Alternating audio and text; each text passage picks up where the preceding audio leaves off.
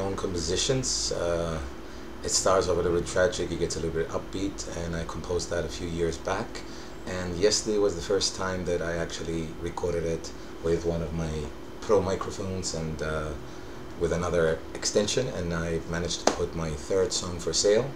Let me continue and say that I apologize for anyone out there who wants to use something other than PayPal but uh, I've been having the YouTube channel for now five years and uh, it was the easiest way but uh, I talked with a lot of you guys out there and you told me that uh, maybe you have problems for the region PayPal is not in your country or other reasons and um, I respect that and it will take time maybe a week maybe a month I'll have to study about it and how to do it. PayPal has that option as well but uh, they take a lot of a big chunk off of it so please be a little bit patient and if you like to support by donation there's still only PayPal but I will get to it.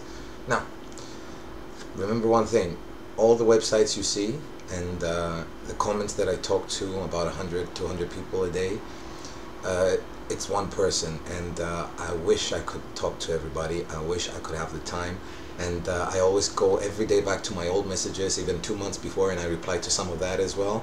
But uh, you could push through. I've got email, uh, at yahoo.com. I've got Alexandros Iacovides Facebook profile. So if you really need something that I could help you with or contact me, you can find the way. Alright, everything is in the description of this video. Also the purchase link. Alright, now, what we have, rajeo. Rajeo is in short for rasgueado. In flamenco, rasgueado is the ways of doing rapid strokes. This one is the abanico, then you've got a triple, rajeo, double, upwards, which is my style. And because this one involves a lot of rajeo techniques, rasgueado techniques, and it was a night when I was filming it, I just named it Rajeo de la Noche. And I'm not sure if the abbreviation, the way I put things together in Spanish is correct, but it sounds cool.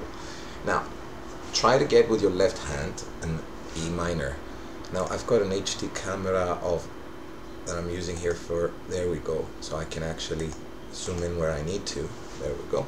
Now right here are E minor. Now remember my guitar is dropped a half a tune uh, a half a tone lower. So if this was the E this is the D sharp now. If this is the B it's one more back so it's the A sharp. And after that is the B so it's one tone more back every string.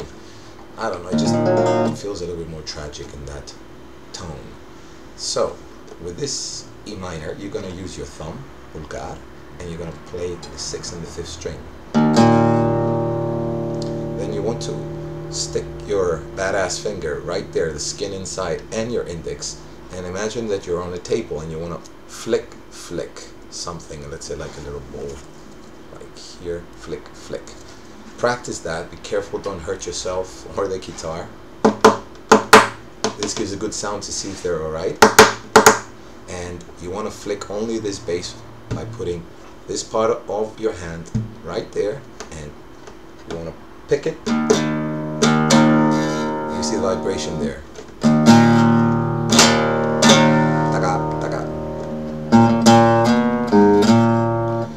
Quite easy, it's just a little falsetta, a little melodic part on the bass, which is one, two, three, on the fifth string on the second fret, then on the third fret, go back again on the second, sorry, open, and press down on the second.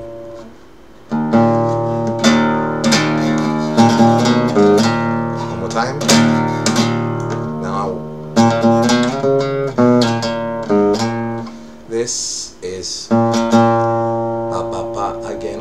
Second fret of the fifth string. Third fret two times. Third fret again.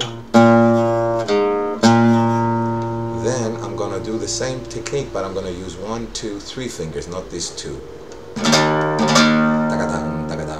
And then one more triple but it's not gonna be so metronomic like the bass.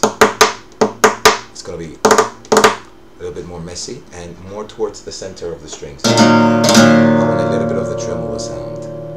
Okay? And then it's not so hard, but you're gonna have to learn to shape a chord with it. So let's go slowly on it. One, two, three again on the second fret of the fifth string. Go more down. Then you're gonna play the third bass, that's the third string from the top. Press the second fret on that bass with the middle finger and place at the same time your ring finger on the second fret of the third string and then your index on the first fret of the second string and your pinky, I know, bear with me, on the second fret of the first string. And we have a D7, if I remember correctly, so it is.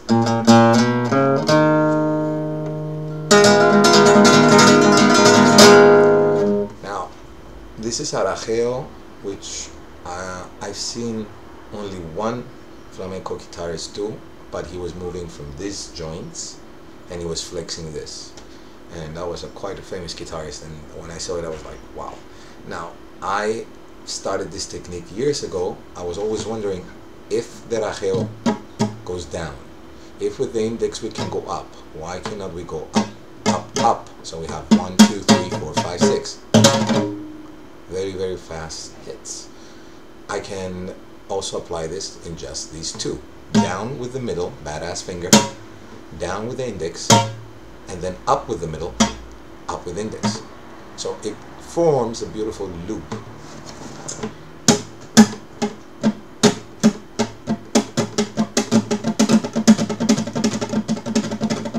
So when you get that, you really want to try it, not to just play it fast.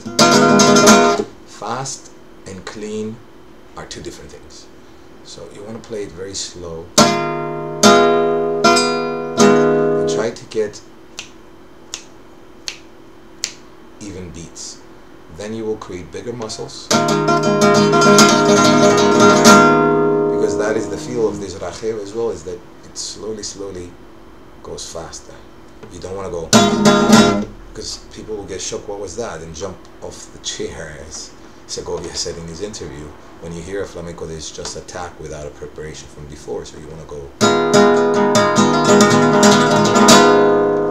And then we have.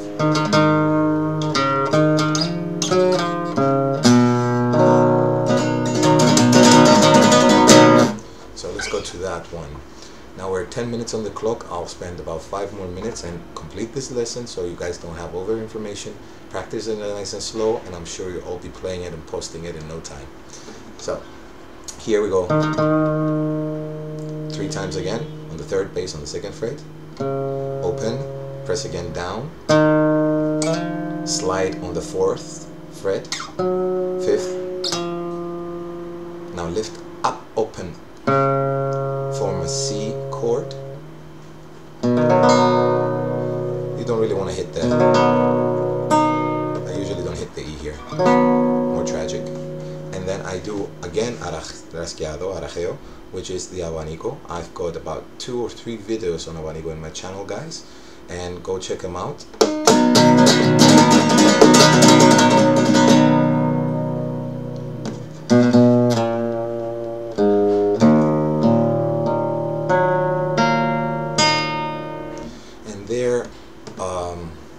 The C chord. Here's the triple again. If you notice I use my thumb as a pick.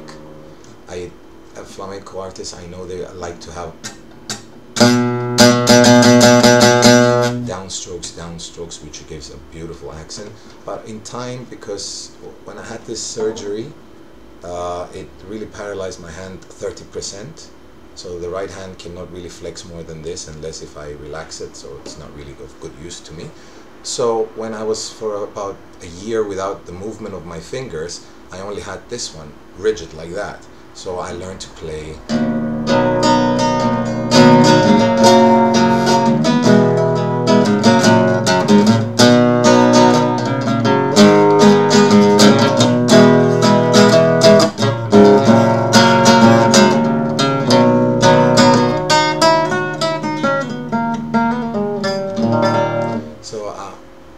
heard also from uh, a beautiful flamenco artist. He said to me that you can play with the thumb all day. It's just like using a pick. Professional guitarists play only with a pick. So don't say no to down and up strokes. Just try to keep this rigid and stiff. It can give you a lot of flexibility than just down strokes, my opinion.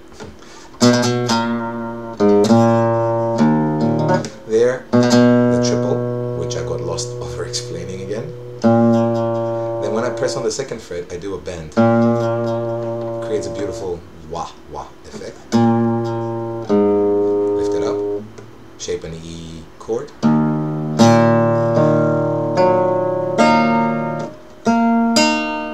Alright.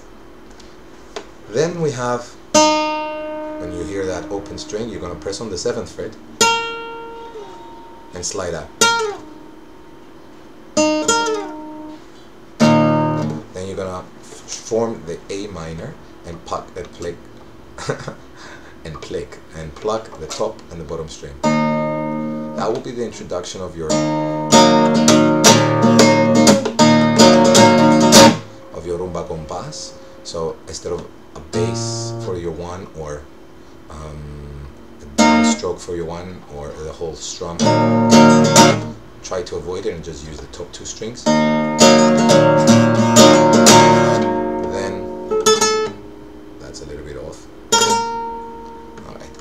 The 7th fret and then I do 4 note a quadruple. How do I do that? Again with the same um, mentality that we go down, down, up, up as we explained before. I do the same thing again, believe it or not, on the one string. Tak, tak, tak, tak. Then I go on the 8th fret and I pick one more time. On the 5th fret, 7th fret, the same slide as the first time. And then we're gonna use the index on the 7. Use the ring finger. I've got a reason for that. You'll see later on. I know it's not supposed to be squeezed like that and leave the middle finger off, but then I went to the 8th, then to the 10th.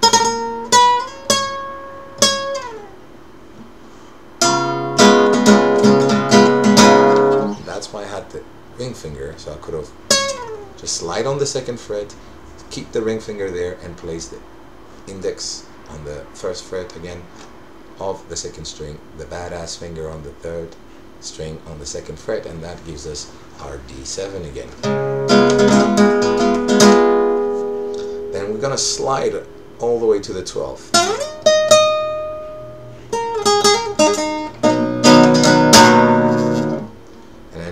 this is probably not a good spot to stop but you have enough to work on guys. And I did stop halfway or three times way to explain a lot of techniques. I played it right through in the beginning so you guys can uh, hear it if some of your advanced players can just pick it up by watching a close-up. And uh, I'll be getting ready to do the second lesson and post it for you guys this takes a lot of hard work and dedication as you know and you guys have been around for so many years and uh, supporting me as well so that takes a lot of effort from your behalf to always check how I'm doing and join me on Facebook and I appreciate it. And if some of you cannot give donations because of PayPal don't worry. Just a simple like or a beautiful comment as you always guys do. It's more than enough for support. Thank you very much. See you in the next video guys